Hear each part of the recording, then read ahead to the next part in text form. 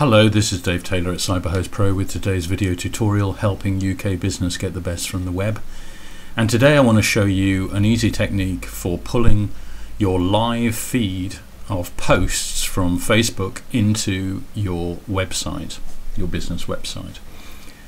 So the way that it works is that you need to have a page on Facebook first of all and in our case you may be familiar already that uh, we have a page. So I'll just show you the page address. Now you need to make sure that the page has what's called a clean username. Sometimes when you've set up a Facebook page first of all you'll you'll find that uh, it will be the address will be facebook.com stroke then your business address and then sometimes you'll see a, a series of numbers after the name of your business.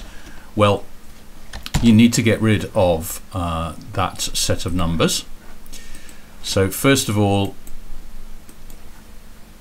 let me show you what your page address on Facebook should look like. So it should be like this, facebook.com slash cyberhostpro.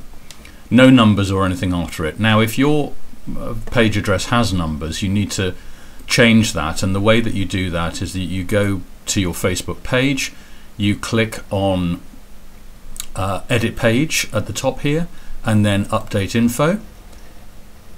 And then on the right hand panel, you'll see this link in blue called change username.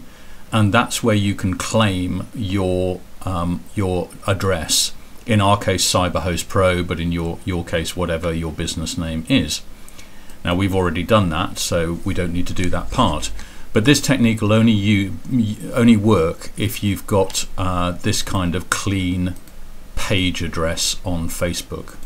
So you've done that. Now you're ready to uh, create the code. Now I'm going to post the code for this under the video, and this is what the code looks like. Uh, so let's just get rid of that for a second. Let's make this a bit larger so you can see it. There you go. Okay.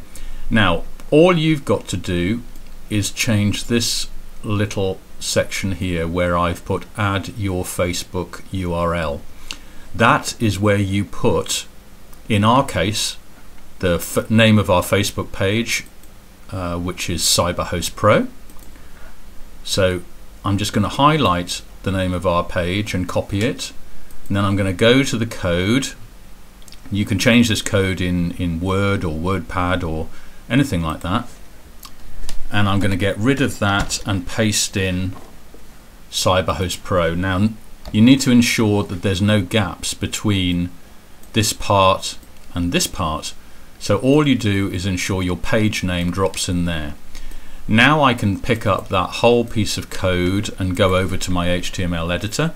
And this is where you could go into your content management system on your website uh, or your um, your HTML editor if you have that ability. And you drop the code in there. And if I preview that you can now see that I have got a scrolling box of the things that I've most recently posted.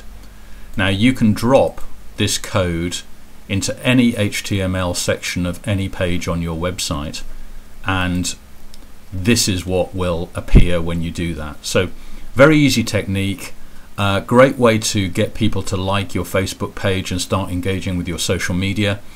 Uh, I will post this code under the video and I hope that is of benefit to you. We'll see you next time on CyberHost Pro for another video tutorial. Until then, bye bye for now.